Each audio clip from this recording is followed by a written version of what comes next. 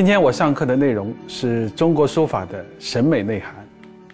中国有一位作家林语堂先生曾经说过，在书法上，也许只有在书法上，我们才能看到中国人艺术的心灵和极致。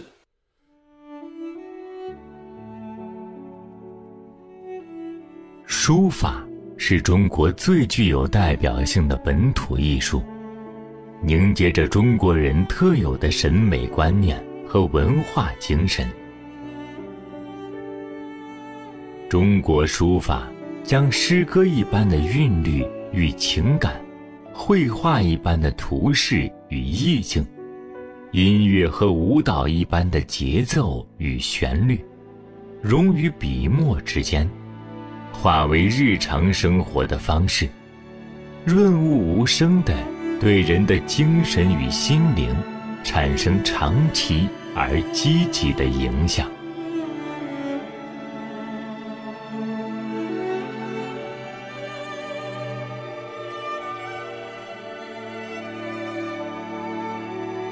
面对一件传统经典的书法作品，虽然欣赏者都可以个人的感受点评一二。但若要真正理解并产生共鸣，读懂其中的技巧、思想、情感以及创造力，单靠天生爱美的本能或一双观看的眼睛是不够的。中国书法除了其本体的用笔、结构和章法之外，更与人相通。与时代相通，蕴含着历史文化和哲学等诸多内涵。下面我们主要从五个方面来阐释中国传统书法的审美内涵，希望能够通过这一节课的讲解，让大家对于中国书法有更加深入的了解。书法审美有以下五个。基本的内涵：一、形制；二、比例；三、神采；四、风格；五、品格。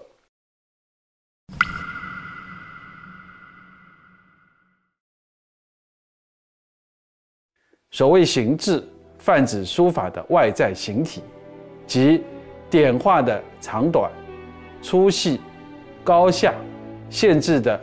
厚薄、空间结构的大小、疏密等等，形制牵涉用笔和结构两方面的问题。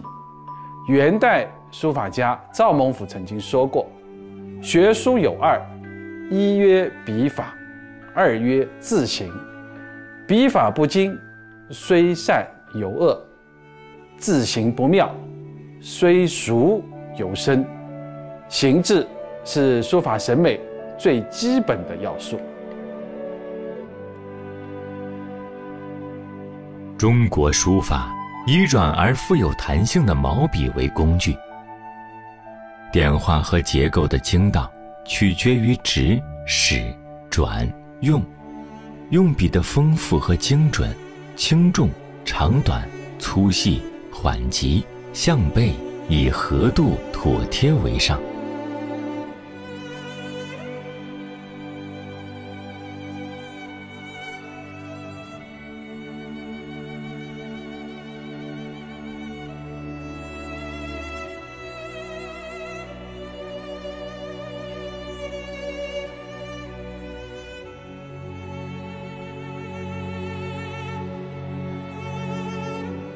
书写的时候，用力的轻重，用笔的正侧，书写的快慢，蘸墨的多少，墨色的浓淡，造就了笔触的千变万化，犹如大自然的种种物象在笔端流露。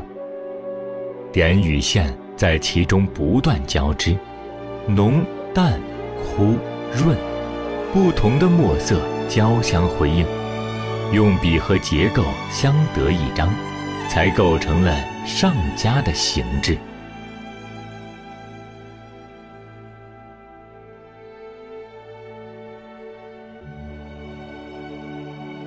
书法的形制强调变化，多个点画在一起，形状应各不相同，体态应各有区别。起手之点为全字定下规范，开篇之字为通篇定下准则。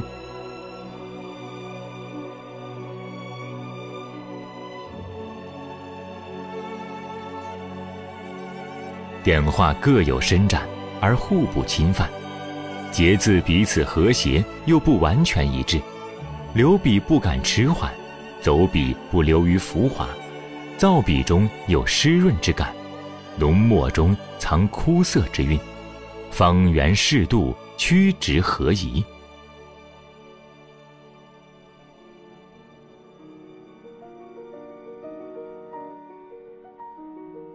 用笔则强调是风漏藏有致，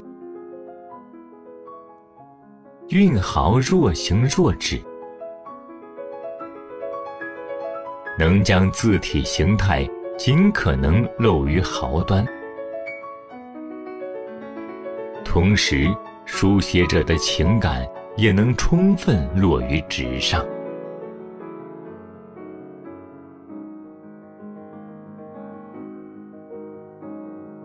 此外，每个书家的书法都有各自独特的形制美，这是其形成独立风格的重要组成部分。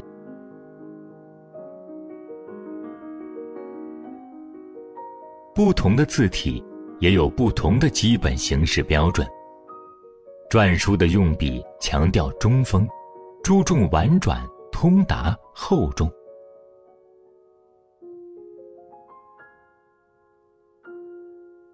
隶书的用笔务求含蓄、内敛、简洁，注重古朴而有趣味。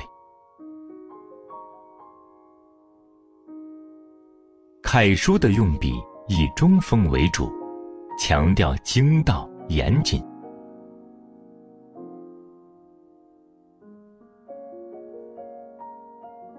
行草书的用笔强调中侧锋交替。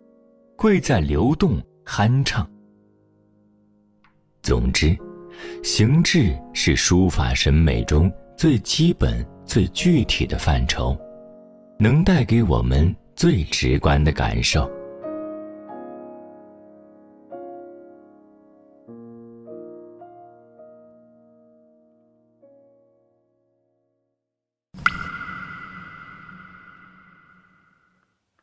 单独把比例。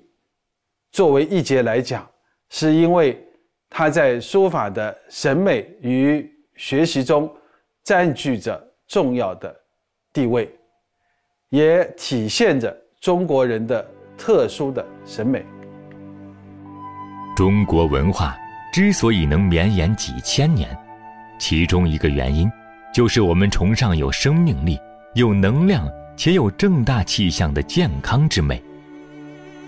书法的学习与欣赏也不例外。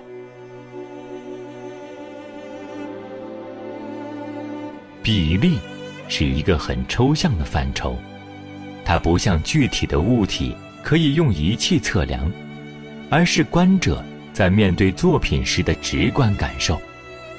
这种感受十分抽象，没有书法实践的人，往往不容易准确体会。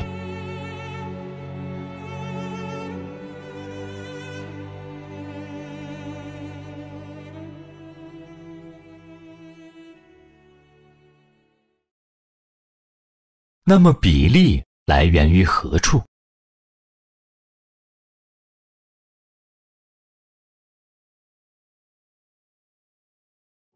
书写者全神贯注，将自身之力灌注于笔尖毫端，以达到入木三分的效果。近代魏硕在《笔阵图》有言：“下笔点画，拨撇曲曲。”皆需尽一身之力而诵之。书写者常年累月积累，并掌握的驾驭笔的能力，包括笔墨技巧、风格展现。善比例者多骨，不善比例者多肉。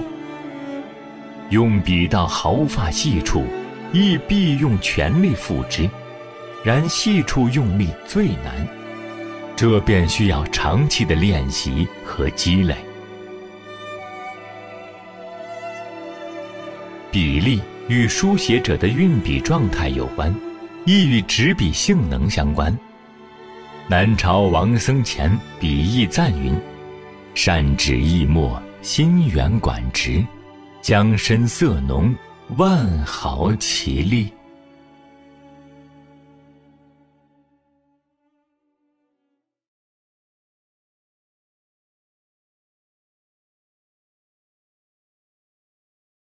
敬畏朔笔阵途中，则有点如高峰坠石。颗颗然实如崩也，这都造就和展现了书法之力。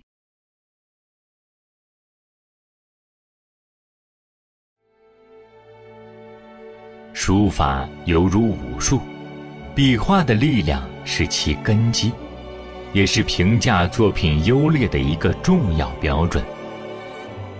古代鉴赏家在欣赏一流书作的时候。常有比例精绝的感慨，也正是由于这种对笔画力量的追求，便形成了一些针对于书法用笔的特殊审美观，即笔画应当表现出不臃肿、不单薄、不轻浮、不凝滞的状态。重的笔画要凝练，轻的笔画要圆厚，跳荡时。不失沉着之感，安静时饱含生命之力，柔和中要带着刚健，而刚强之力，则要化为绕指之柔。总的来说，书法中的用笔，既要表现出各种形态，同时又要以强大的比例作为支撑。